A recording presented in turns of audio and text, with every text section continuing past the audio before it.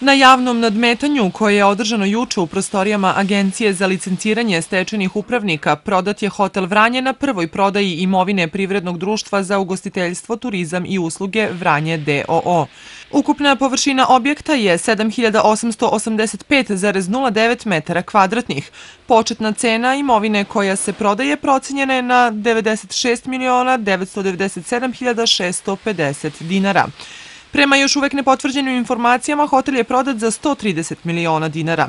Ovu cenu ponudio je putešestvenik DOO Novi Beograd, a nešto manje, 125 miliona dinara, ponudio je Millennium Team iz Beograda.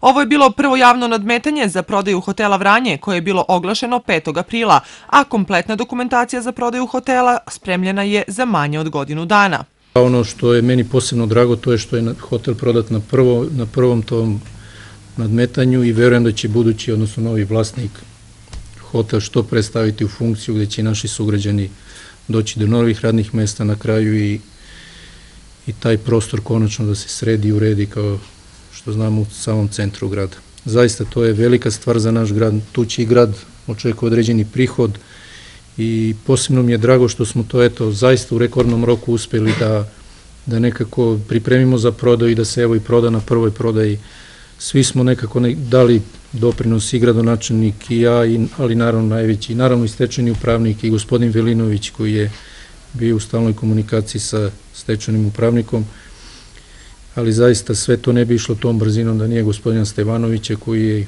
eto, ima apsolutno razumevanje za sve naše probleme i koji nam je uvek na usluzi. Zaista lepa vest i verujem da, da će Vranje u najkrćem mogućem vremenu eto, dobiti hotel kakav zaslužuje. U ugostiteljskom preduzeću Vranje, u čijem je vlasništvu bio i hotel Vranje, uveden je stečaj marta 2018. godine, a zaposlenima je isplaćen socijalni program. Novi vlasnici Vranjskog hotela, kako navode u saopštenju, imaju razvijen biznis u Rusiji i nameravaju dalje ozbiljnije ulaganja na jugu Srbije, pre svega u hotele i druge objekte. Što se tiče ugostiteljskog preduzeća Vranje, u toku je procena i za druge objekte u njegovom vlasništvu. Očekujem da se sledeće ponudi na prodaju restoran Kosovo i Srbija u Vranjskoj banji, jer je procena već urađena, rekao je Bulatović.